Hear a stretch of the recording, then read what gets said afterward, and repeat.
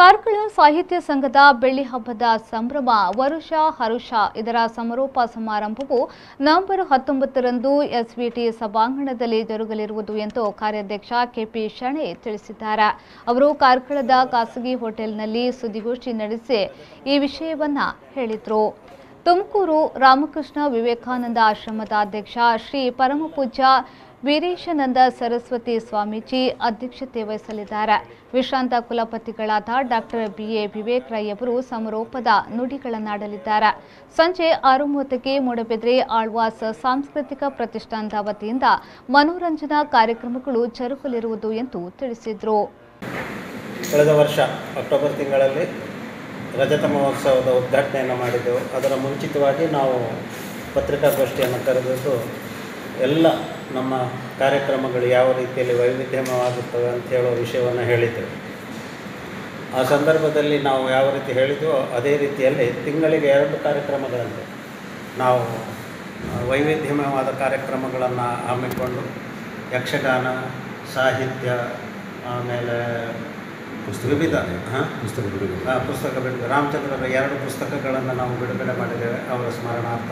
ಅದನ್ನು ಸಾಹಿತ್ಯ ಸಂಘವೇ ಮುದ್ರಿಸಿದೆ.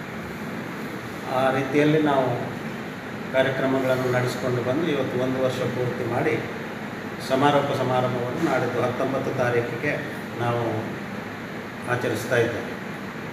ಆ ಸಂದರ್ಭದಲ್ಲಿ ತುಮಕೂರು ರಾಮಕೃಷ್ಣಾಶ್ರಮದ ಅಧ್ಯಕ್ಷರಾದಂತಹ ಸ್ವಾಮಿ ವೀರೇಶಾನಂದಜಿ ಅವರು ಅಧ್ಯಕ್ಷತೆಯನ್ನು ವಹಿಸ್ತಾರೆ. ಆಮೇಲೆ ಹಂಪೆ ವಿಶ್ವವಿದ್ಯಾಲಯದ ಮಾಜಿ ಕುಲಸಚಿವಗಳಾದಂತಹ ಈ ವಿವೇಕ್ ರೈ ಅವರು ಆ ದಿವಸ ಅತಿಥಿಗಳಾಗಿರ್ತಾರೆ. ಆ, ದಿವಸ ಮೋಹನ್ ಆಳ್ವರ ಆಳ್ವಾಸ್ ವಿದ್ಯಾಸಂಸ್ಥೆಗಳ ವಿದ್ಯಾರ್ಥಿಗಳಿಂದ ತಂಡದವರಿಂದ ಯಕ್ಷಗಾನ ಬಯಲಾಟ ಕೂಡ ಮಾಡ್ತಾ ಇದ್ದಾರೆ. ಈ ಕಾರ್ಯಕ್ರಮವನ್ನು ನಾವು ಎಸ್ ವಿ ಟಿ ಶಾಲಾ ಸಭಾಭವನದಲ್ಲಿ ಹಮ್ಮಿಕೊಂಡಿದ್ದೇವೆ. ಸಾಕಷ್ಟು ಜನರನ್ನು ನಾವು ನಿರೀಕ್ಷಿಸ್ತೇವೆ ಸಾಹಿತ್ಯ ಸಂಘ ಇಪ್ಪತ್ತೈದು ವರ್ಷವನ್ನು ಪೂರ್ತಿಗೊಳಿಸಿದ್ದು ಮುಂದಕ್ಕೆ.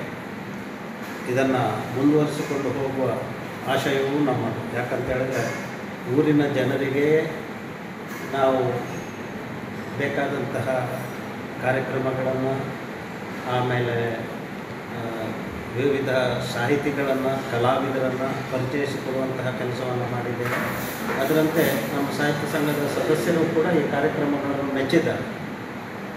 ಅವರಾಗೆ ಸ್ವಯಂ ಸ್ಫೂರ್ತಿಯಿಂದ ಇದಕ್ಕೆ ಧನ ಸಹಾಯವನ್ನು ಮಾಡ್ತಾ ಇದ್ದಾರೆ. ನಾವು ಯಾರ ಹತ್ರವೂ ಕೂಡ ಹೋಗಿ ಯಾವ ದೇಣಿಗೆಯನ್ನು ನಾವು ಬೇಡಿಲ್ಲ.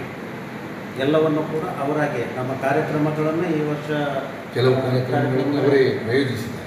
ಇಡೀ ಅವರಾಗೆ ಸ್ವಯಂ ಪ್ರೇರಿತರಾಗಿ ಮುಂದೆ ಬಂದು ಕಾರ್ಯಕ್ರಮಗಳನ್ನು ಅವರೇ ಪ್ರಾಯೋಜಿಸಿದ್ದಾರೆ.